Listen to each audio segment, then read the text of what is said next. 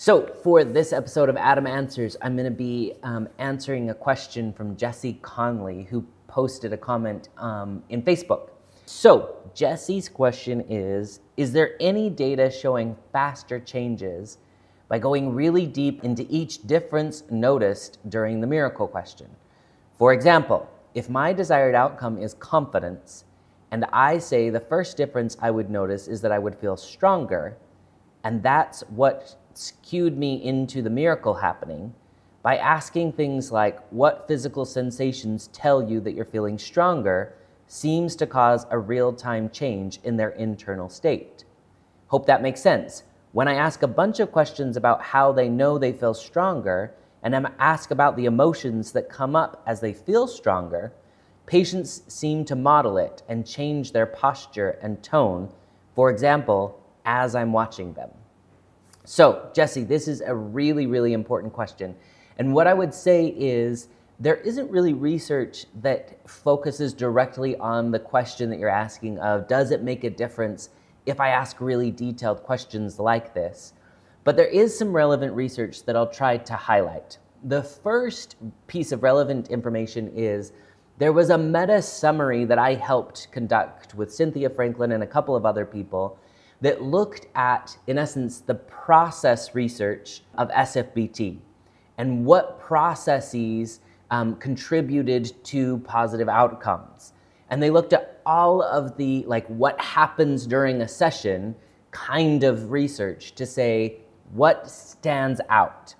And one of the things that they highlighted is that a real focus on language makes a big difference when we really hone in on specific language.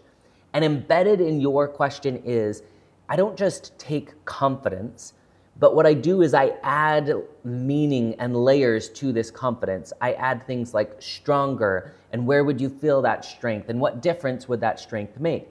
And the richer we can develop that language, the more likely it is that that language takes on some important meaning for the client in addition to that process research that's been done, um, and if you want those articles, you just send me an email and I can send you a copy of that, that article.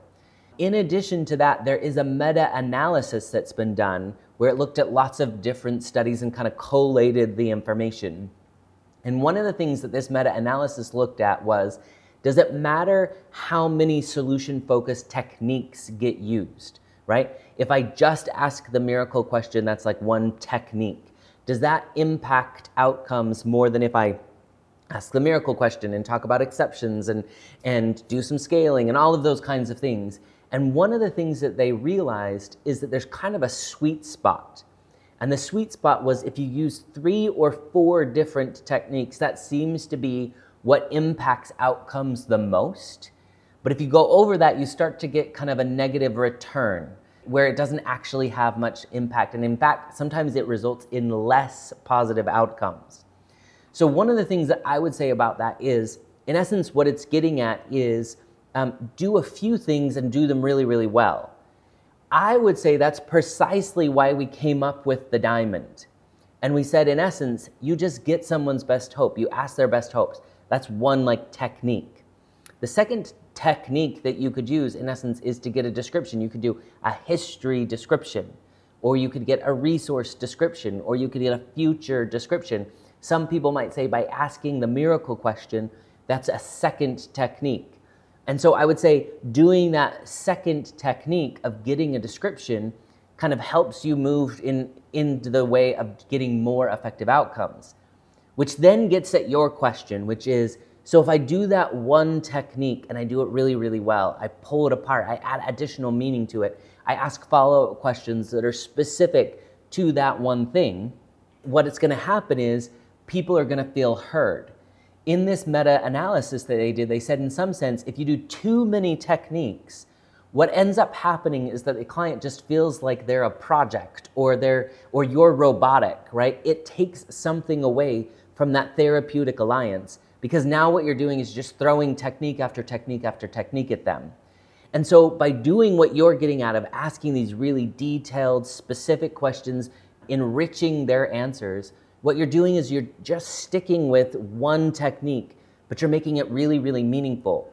by using their language in this way, by adding strength to confidence, by adding physical sensation to strength, what you're doing is you're communicating to them, I'm so in sync with you, and I'm so in tuned with your specific language that we're building one consistent, congruent conversation.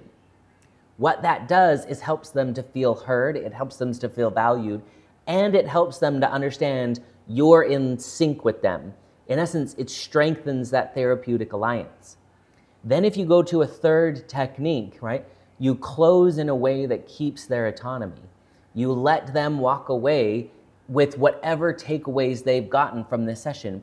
You've stuck to that like golden three or four techniques, but you've done it in such a way that they feel valued, they feel heard, they feel they feel understood.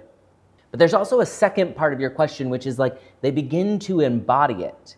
And you're really getting at what I say all the time, which is language creates reality. As they language these things, their brain can't really make a distinction between they're just describing it versus it's literally happening to them. So it just feels like to the brain, I'm experiencing all of these things that I'm talking about. So then my behavior, my body, it starts responding as if I'm actually experiencing this thing, regardless of the fact that I'm just sitting here describing it. So it's literally as we use this really rich language that you're talking about, that that language becomes their reality. They just start to experience the impact of describing it in this way. And so they really do start taking it on. So I think you're really smart and wise to catch. I start to see that they behave in a strong, confident way as they describe, describe strength and confidence. So those two things combined really, I think, help explain what you're talking about. So there isn't really specific research that says does it have an impact in the way that you're asking? But I think there's lots of research that supports the observations that you're making. So I hope that's helpful. Um, if anybody watching this has follow up questions about this, please feel free to send them in and I can do additional follow up sessions about this. But in the, in the end, what I would say is keep doing what you're doing, really get specific finite language like this because it really does make a big difference.